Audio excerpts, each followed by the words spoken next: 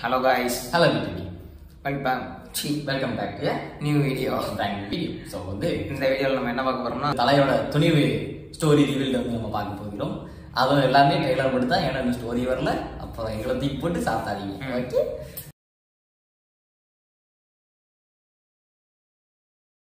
அவன் கிடக்குறான் இது நல்லா இருக்கு. என்னன்னு கேட்டிங்கன்னா நம்ம மணிகேஷ் மணிகேஷ்னு ஒரு படம் பார்த்துருப்போம். ஆனால் அந்த மணிகேஷ் படத்துக்கே டஃப் கொடுக்குற மாதிரி தான் நம்ம பாலிவுட் வந்து சரி பாலிவுட்டா பாலிவுட்டான்னு தெரியல.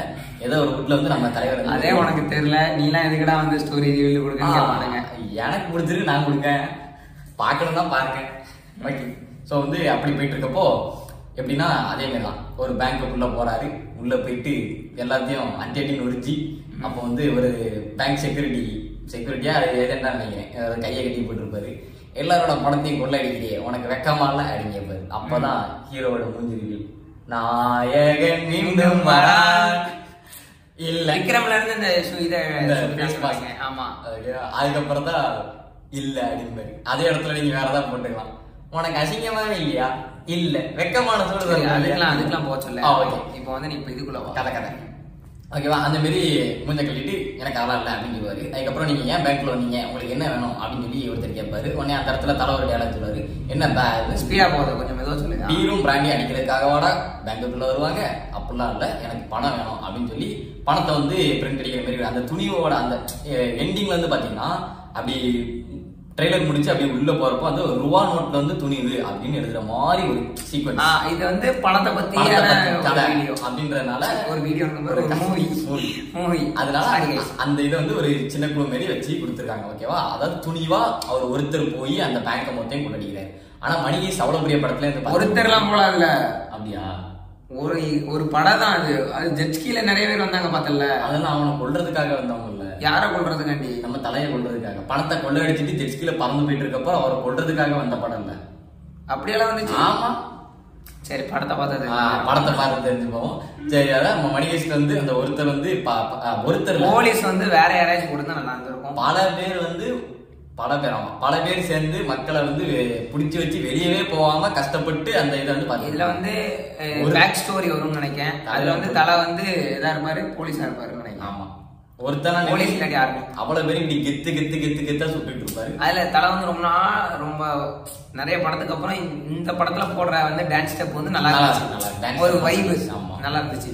ஆமா. என்னடா அதுக்கு வந்து நீங்க ரொம்ப ஓவரா சொல்லிட்டு இதுக்கு நல்லா சொல்றீங்களா? நீங்க என்ன தலா ஃபேனான்னு கேட்டக்கூடாது நாங்க யாரு ஃபேனும் இல்லைங்க. நாங்க உங்க ஃபேன் டிடிவி பிடபி ஃபேன் இல்ல ஒரு பாசத்துல தான் வணக்கம். யாரா நீ? என் மேல பாசம் வைக்கிறதுக்கு. ஒரு அசிங்கமாய் போச்சு குமார்.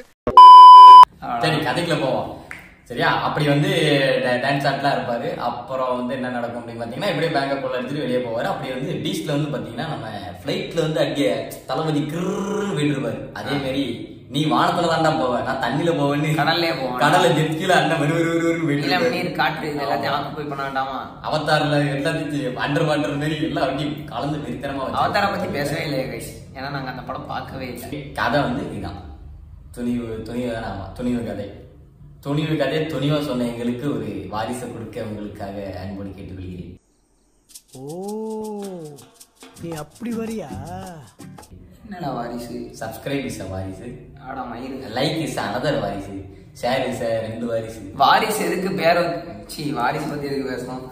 து- துணிவு எதுக்கு? நான் துணிவோடு எதுக்கு பேர் போய் அந்த பேங்கை வந்து ஒரு துணிவா ஒரு கெத்தா. அந்த ஒரு போய் எடுக்கிறானா? ஆனா கிட்டத்தட்ட இது வந்து தமிழ்ல மணிகிஸ்ட் எடுத்த மாதிரி இருக்கும்னு ஒரு தாட்டு ஏன்னா அந்த சீக்வன்ஸ் எல்லாமே அப்படிதான் இருக்கு.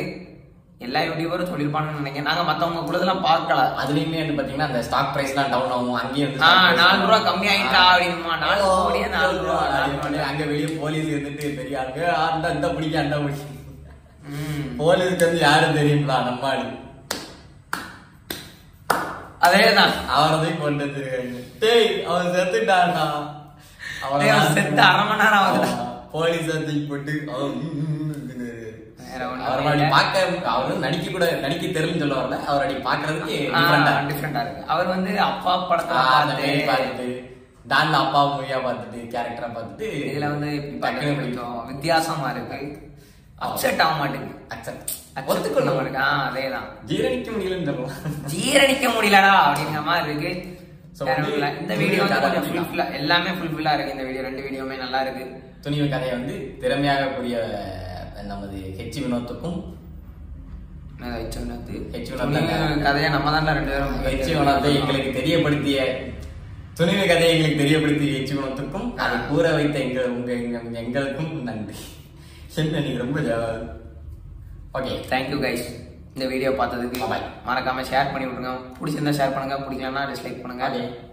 டிஸ்லைக் பண்ணாதீங்க. ஷேர் மட்டும் பண்ணுங்க லைக் பண்ணுங்க.